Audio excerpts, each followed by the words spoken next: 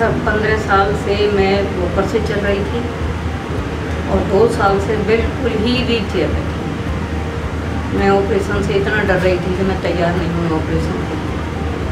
फिर मेरी बेटी हैं, डॉक्टर हैं, उन्होंने मुझे दबाव डाला।